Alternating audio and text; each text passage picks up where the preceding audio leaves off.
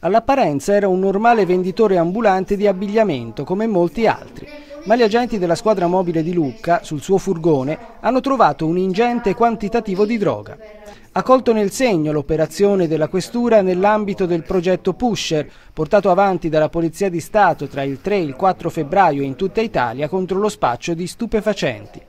L'uomo arrestato è un 36enne marocchino di San Pietro a Vico, Isham Nassib. Si tratta di un, di un marocchino, un incensurato, regolare sul territorio, ehm, che, faceva, che fa l'ambulante, vende nei mercati della provincia capi d'abbigliamento, biancheria intima, quindi si sposta normalmente col suo furgone da, eh, dalla Garfagnana a Capannori a Viareggio e non escludiamo che di tanto in tanto durante ecco, la sua attività di vendita possa anche cedere della sostanza stupefacente. Quello della polizia è un sospetto che può dirsi fondato.